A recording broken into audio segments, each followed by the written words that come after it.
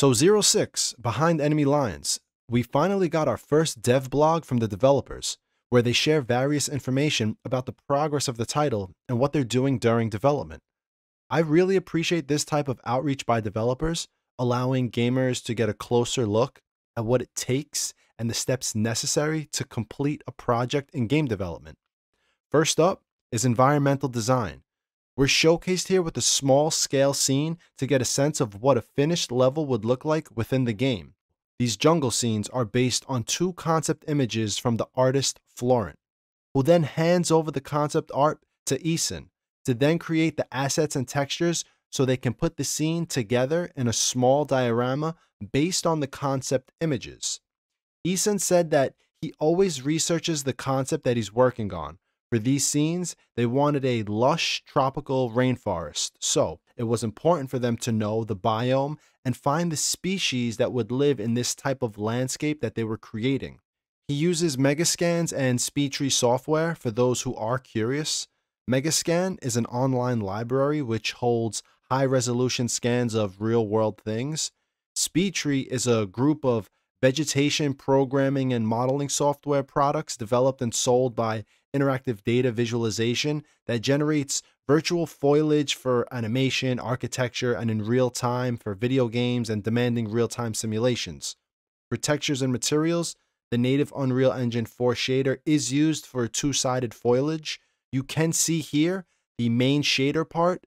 The moss shader uses fuzziness and is based on the z axis of the object. So the textures are made using Megascans and they are combined and edited using different textures. Playing with colors, combining textures, foliage, and editing via the alpha channels to make them more readable. Utilizing real time lighting, an entire scene can be created using directional and skylight lighting. Point lights are used to fake some details. Then, using an exponential height fog with volumetric fog on, it gives the scene a milky and unclear look to sell the mood of the scene in this dense jungle environment. At this point, many fans in the tactical shooter market are wondering what's next? Well, as of now, the assets are being implemented into an actual game level for both single and multiplayer use. So, yes, as of now, 06 Behind Enemy Lines is looking to include multiplayer alongside its single player campaign.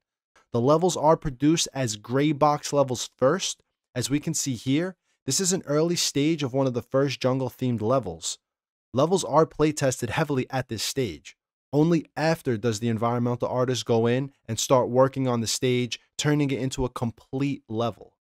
How this process is being done will apparently be featured in the upcoming dev blog, which will be one of many as the team continues its focus on creating 06 behind enemy lines. So, what are your thoughts so far? Are you excited for the possibility of a new, amazing third person tactical shooter to come to the market? Are you excited to see how 06 behind enemy lines turns out? For me, at this point, I can see that the game is in such an early stage that I'm reserving my excitement to see what the future holds for the game and the team creating this new third person shooter. But I'm optimistic, and I hope they can deliver a spectacular game for us third person tactical shooter fans. But what about you? Let me know in the comments below what you think.